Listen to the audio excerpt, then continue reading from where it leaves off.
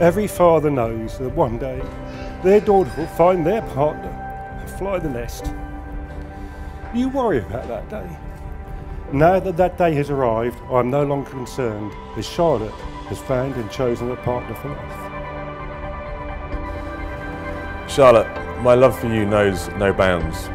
My best friend, my soulmate. You are, always have been, and always will be the one. I promise to love you, listen to you, and look after you. I promise to make you laugh, to be your shoulder to cry on, and be the one that shares your smile. I promise to celebrate the successes with you and help you forget the failures. I'll be the one you can build a future with, learning and laughing on every step of our journey. Charlotte, I'll travel to the ends of the earth with you and can't wait for our next adventure. I promise I'll be there by your side, always and forever.